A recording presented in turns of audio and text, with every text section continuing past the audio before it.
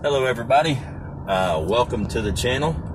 Uh, long time no see from me. It's been uh, what five, five or six days, four or five days, something like that, since uh, my last video update. I believe it was uh, talking about Zah making her nest. And let me tell you something. She ain't pulled no hair yet. I'm hoping she will tonight uh, because it's like day 29 and it's supposed to be somewhere between day 28 and 31 that they give birth. I believe today's 29. It might be 28, but I've been giving her plenty of hay, and not only, I mean, she built a condo, not a nest. I mean, she literally built a condo. It looks so comfy. I kind of want to crawl up in there and relax. So, you know, she's a first time mom.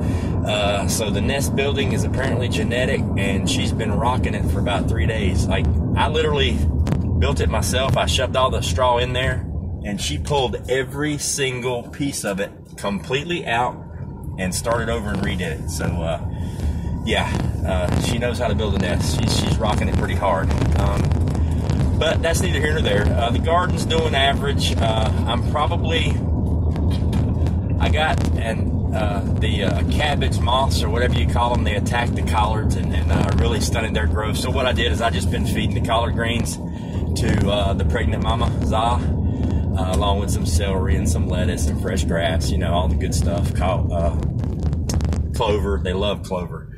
Um, so I'm probably going to do away with the collards since I have plenty of them, and I really didn't. Um, I didn't know that's what those seeds were when I planted them in the first place. They were kind of like an accident. So I'm probably going to get go ahead and, and, pull the collards out and uh, go ahead and plant my uh, okra and um, some cantaloupe and some watermelon uh, and see what happens with that. Um, the bell pepper never really did anything. Uh, I don't know if it was just too long before it was transplanted because it was massive when I got it, uh, but it, it, just never really did anything. I mean, I I force fed it some rabbit manure the whole nine yards, and it just it's just never done nothing. And the weird thing is, is that has always been my luck with bell peppers for some reason. I'm missing a part of that equation, uh, so I'll have to work on that.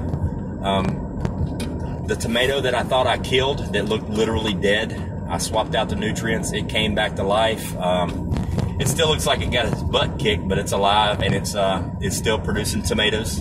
Um, the experiment all the way on the end, the very last tomato, I mixed up a batch of hydroponic nutrients, and that's what I watered it with a gallon of hydroponic nutrients.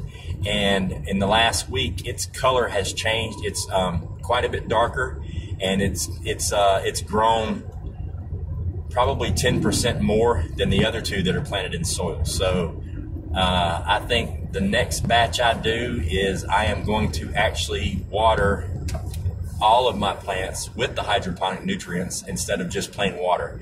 Uh, so that'll give them like an extra boost. So I'm gonna I'm gonna mess around with that a little bit and see see how it works. But I think it'll do pretty good. Um, Let's see, the hot peppers, the cayennes are growing like crazy. Uh, the potatoes, I don't know what's wrong with my Frankenstein potatoes. They still have not put out flower one, and I'm already past the 90 days. I'm over 100 days. Um, so it's getting close to the four month mark. At the end of this month, or the first of next month, will be four months since I planted those seed potatoes, and they are still growing like crazy. No flowers, just a whole lot of green. So we're going to see what happens. Um, on to the real news. Uh, tonight at 8 p.m. Eastern, I am premiering a new show um, that I came up with about a week ago. Uh, it is called the Prepper Summit. And the basis for this show is at least once a month, maybe twice a month.